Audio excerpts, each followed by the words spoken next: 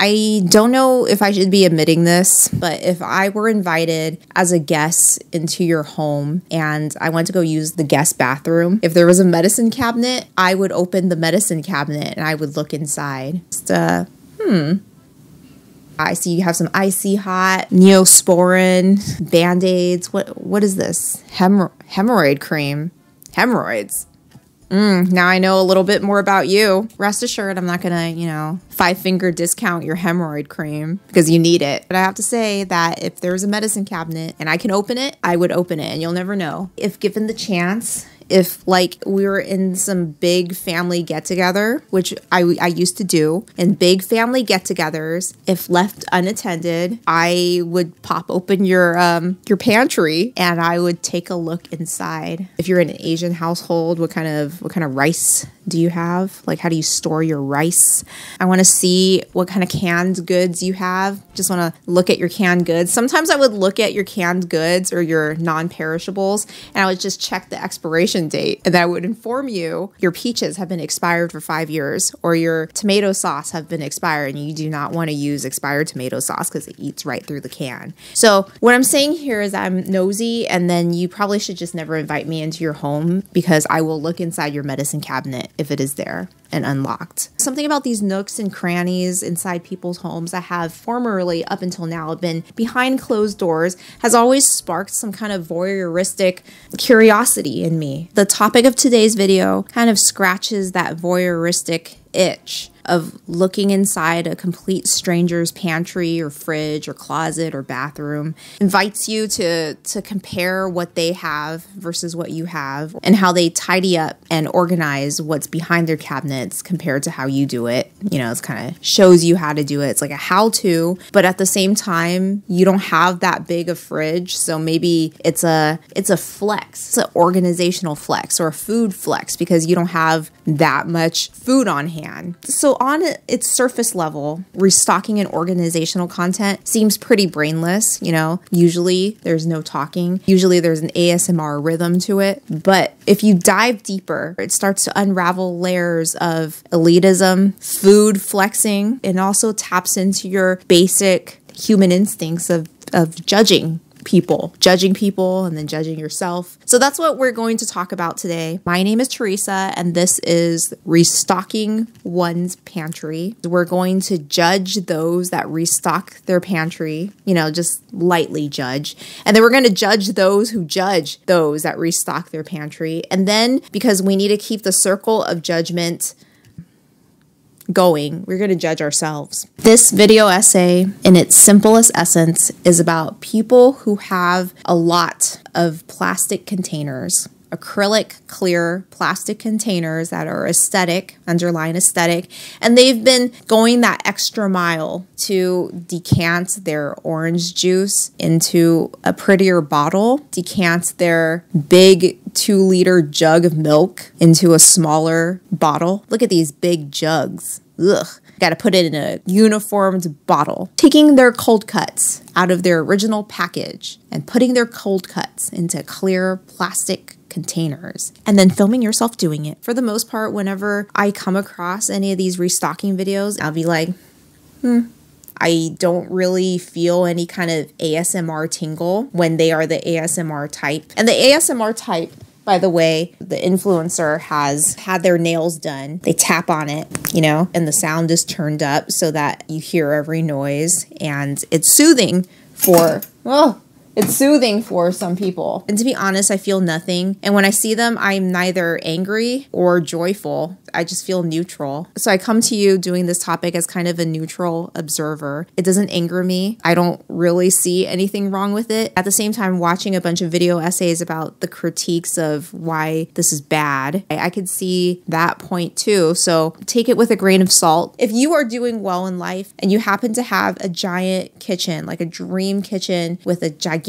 kitchen island and a big stainless steel sub zero fridge with like a TV on the fridge Maybe you have two fridges and you want to make the inside aesthetic. You want clear plastic containers so you could clearly see your food. You want to restock your pantry like you're running some kind of convenience store. Then more power to you. I don't care. Frankly, I don't really care what anybody does with their homes. But then at the same time, watching a bunch of video essays about this topic, about how it promotes um, overconsumption. Like, do you need all those clear plastic containers? What is the purpose of pouring your milk into a prettier container and then that container not being enough to fill all your milk? So then what happens with the extra milk? Does it go to waste? Does it go in your second fridge? Are these aesthetic containers for your milk and your orange juice and your condiments are they sterilized? What then happens to a box of takeout food items in a weird shape? If these containers are labeled with a specific type of produce like apples, oranges, what if you have cherries and there's no room for the cherries? You know, there's all these questions involved and I'm willing to bet that they figured it out and there's no food waste and there could be an extra fridge for the leftovers, you know, for the unesthetic food containers. So we're talking about two fridges here. So there's a lot of questions about the logistics of how this all works. Is it sanitary? Obviously, it's excessive. Does one need to have an entire freezer dedicated to flavored ice? One of the biggest critiques that I see lobbed at these ladies is the fact that they're making money off of this. They have affiliate links, they have sponsorships, they're making money off their platform. And it's basically like their videos are a giant commercial. So essentially, it's like we're bringing back the Tupperware party. In the 50s, a housewife, in order to make some side income, she would have these Tupperware parties, invite all her friends over, and show them how she uh,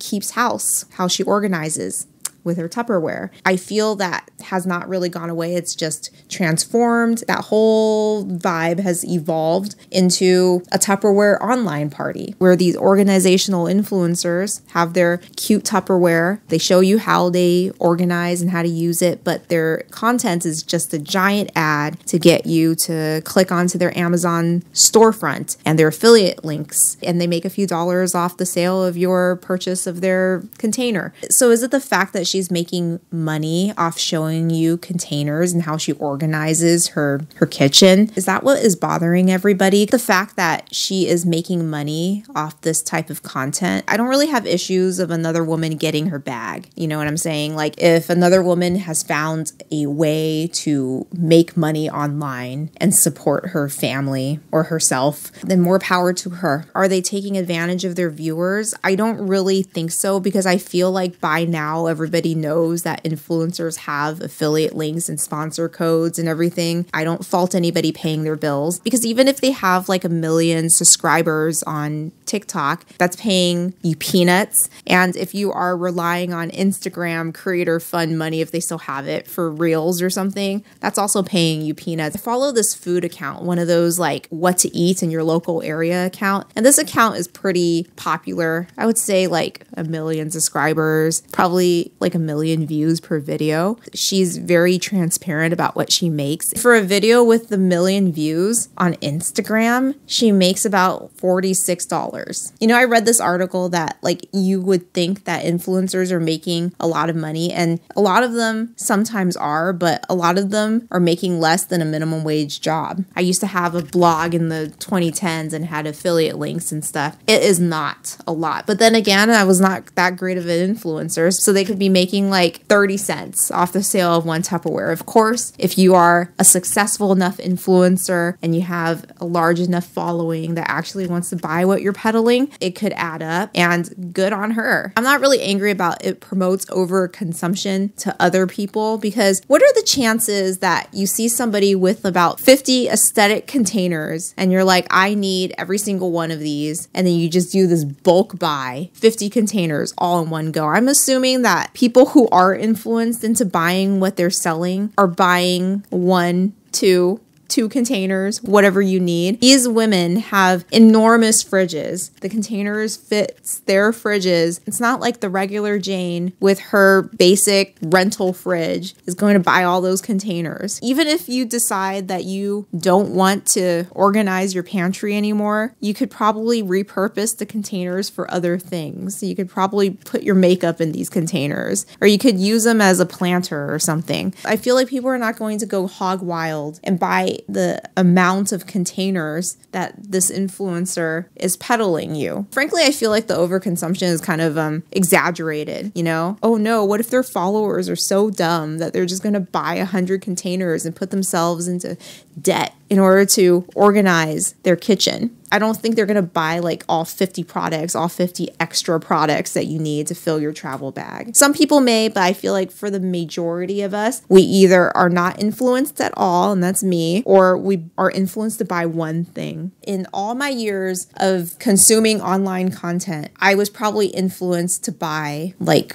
five things. Things I get influenced to buy are like less than 10 bucks. You know, all my years of watching YouTube videos. When did I ever buy a VPN? So the whole overconsumption argument I feel is a little overblown because yes, these ladies have in their possession an inordinate amount of plastic containers that they are then trying to convince you through aesthetics and ASMR to buy. Overall, if you you in your household are influenced to buy one plastic container or two or three, I feel like it's not going to be the ends of the world. Are you damaging the environment that much? Are you going to buy these containers and then in a year you decide that you don't want to organize anymore and you're just going to throw these containers away in a landfill? I feel like you would probably just repurpose it for something else. Or maybe you'll just donate it and then you just see these plastic containers that probably cost $5 on Amazon, sold for like $10 at Goodwill. So, unless you've been heavily influenced, and then we would like to hear your story in the comments down below. Let me know if you have ever been influenced watching these organizational videos to buy some plastic containers. Tell us your story. I feel like I'm Oprah. Anybody out there I want to know have you been influenced to buy home organizational items in bulk that you then regret? Or are you using them? Like, what's going on here? Tell us the state of your kitchen and your pantry. So, other than the sterilization of liquids, of pouring milk into an unsterilized yet aesthetic bottle when you don't need to, and the whole unnecessariness of it all, I don't really have an issue with it. Didn't really influence me, but then again, maybe I'm an outlier and I'm hard headed, hard to convince. The algorithm wants something that either enrages people or gets them, gets their attention. Unfortunately, that favors something that is excessive, like visually excessive. And that's why you have some people having a entire freezer drawer dedicated to flavored ice, to flavored ice cubes, or an entire refrigerator drawer dedicated to a salad bar. We're all wondering why are all the vegetables all pre cut up? Like, is somebody going to eat all these vegetables? Why do you have like an entire produce section of vegetables in your fridge? And, you know, we don't really know what's going on. Somebody could have a giant family, could have eight kids. With eight kids, all this food is going to be gone just like that. Or they don't really care what happens to these vegetables. These vegetables could rot, but it's an investment for views. Ultimately, I hope people who watch restocking videos organizational videos don't feel bad for, you know, not living up to the tidiness, the level, the excessive level of organization that is portrayed online because ultimately the extremes, you know, extreme organization or extreme disorganization, extreme minimalism, having no furniture, a furniture free life versus extreme hoarding, like the worst level of hoarding you could possibly see. Those are the types of content that gets attention that is beloved by the algorithm. And then people who are just kind of like middle of the road, like I'm, I feel like I'm just middle of the road. In my home, I'm not necessarily messy. Everything here is tidy, but it's a little dusty. To be honest, I don't really like to dust. I probably dust like once a month. Once a month is probably generous. Once every two months. So in my pantry, everything more or less has its proper place. You know, I just place it in the pantry when there when there's room in the pantry. Like my pantry is very small and it's very deep. So it's hard for me to kind of see what's going on in the back of the pantry. I'm short, so there's like an entire shelf that's outside of my eye level. So I have to get a stool and I have to look inside the pantry. More more or less it's tidy but a little grimy. Recently I have this uh, balsamic vinegar and then some have dripped onto the the pantry leaving a ring of balsamic vinegar and I see that ring go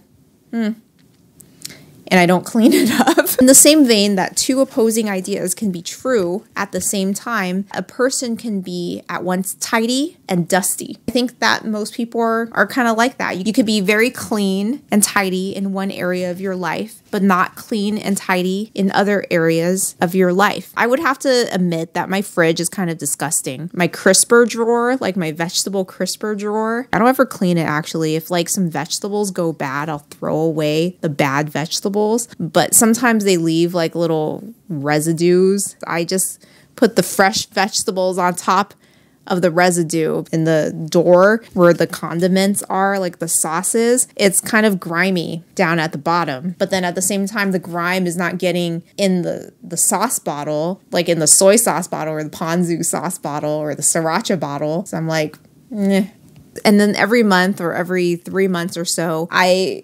get motivated to clean and then I vacuum up the place. Like I would just say that I probably vacuum once a month. You you probably think from my description that I live in a sty. And it's not true. I live in a semi sty. Really depends on your level of cleanliness because I I never clean the the curtains. My apartment came with these um, vertical blinds, you know, those plastic vertical blinds. And I would have to say that in all the time I've been here, I took the hose of the vacuum and I and I I slightly brushed them with the hose of the vacuum. And then it was very tiring. So then I stopped. I guess you can say the vertical blinds have never been cleaned. I don't even know how you clean them. Do you vacuum it? Do you get a wet cloth and dust it. I'm looking at them now. They seem clean from far away. There's like a, a fruit fly that kind of migrated into the, the freezer. I see it every day. I go, eh. You know, I think that it sounds bad that I have a frozen fruit fly in the freezer door, in like the, the corner of the freezer door, and I see it, but I don't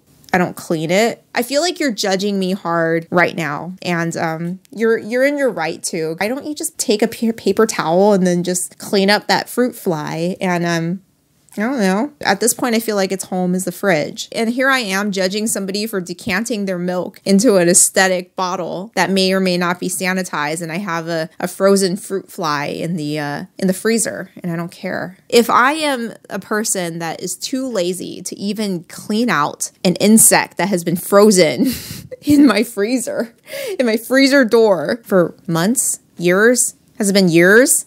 Like that fruit fly could have been here for like four years. It's part of the family now. So, how do you really think I'm going to maintain clear plastic containers? And I'm ventured to say maybe a lot of you are more like me than the very tidy clean influencers. A lot of you are probably like, no, I'm not like you at all, Teresa. You are a you're a slob. You should be ashamed. And the funny thing is, I don't I don't feel shame. Like the whole woman's shame in the domestic sphere, like if you don't keep a tidy house or a tidy kitchen or you have clutter or whatever, women take that onto themselves. They internalize it more than men. Is that something I should be worried about? Like I should feel shame for being kind of a a slob as a as a woman? Is that something i should internalize? Because i don't i don't feel bad. And i know some people are going to be like you should feel bad for not feeling bad. I feel like that part of my brain has been snipped. This is how it feels like to be like a man, to be a full on man, like the dirty bachelor's pad. I don't think that guy, the bachelor and his dirty pad, I don't think he feels shame for it. And I don't feel any shame for my dirty kitchen. What are you thinking? Get rid of that frozen fruit fly, throw it in the garbage. It's not sanitary, but all the, the frozen food is packaged and it's not touching the fly. And when I take out the frozen food, the fly is like in the door, in the corner of the door. Everything is technically sanitary.